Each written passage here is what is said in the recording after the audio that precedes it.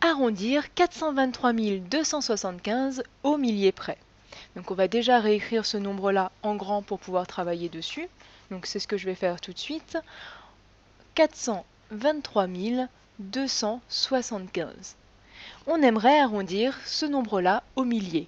Donc la première chose à faire, c'est de voir quel est le chiffre qui se trouve à la place des milliers.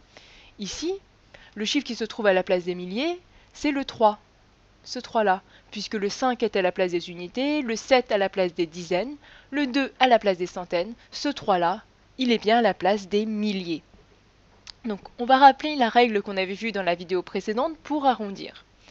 Pour arrondir, ce qu'il faut faire, c'est regarder le chiffre qui est tout de suite à la droite de celui qui nous intéresse pour arrondir. Parce qu'en fait, ici, on va arrondir au millier près, il faut regarder le chiffre qui se trouve à droite de celui qui est à la place des milliers c'est-à-dire le 2 ici, qui est à la place des centaines. La règle pour arrondir, c'est de se dire que si ce 2 est un 5, un 6, un 7, un 8 ou un 9, c'est-à-dire que si ce chiffre est supérieur ou égal à 5, alors on arrondit au-dessus. Arrondir au-dessus arrondir au-dessus, quel est le résultat si on arrondit au-dessus? Eh bien ça veut dire qu'à la place du 3 ici, je vais avoir le chiffre tout de suite au-dessus, un 4. Donc si on arrondit au-dessus, on va obtenir, comme arrondi, 424 000 tout simplement. On a le 4 ici et ensuite que des zéros après ce 4. En revanche, si on arrondit en dessous, enfin dans quelles conditions est-ce qu'on arrondit au-dessous? On arrondit au-dessous si le chiffre qui est à la droite du 3 ici à la place des milliers est soit un 0, soit un 1, soit un 2, soit un 3, soit un 4, c'est-à-dire si ce chiffre est strictement inférieur à 5.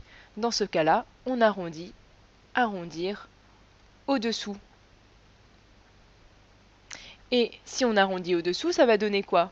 Eh bien, ça va donner 423 000 le millier qui est juste en dessous de 423 275.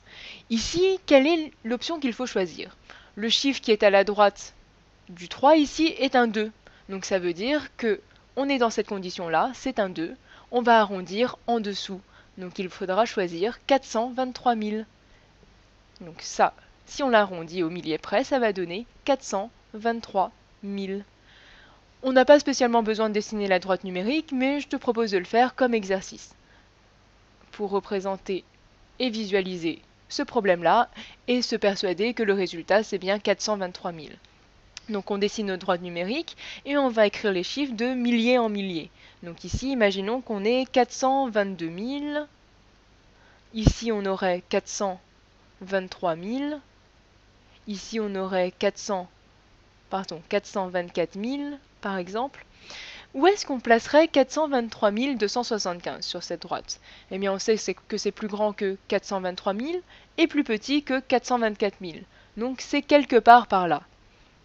Et on regarde la partie qui est à droite du 3 ici, on a 275. Donc, ça veut dire que s'il fallait placer ce chiffre, on le placerait quelque part par là.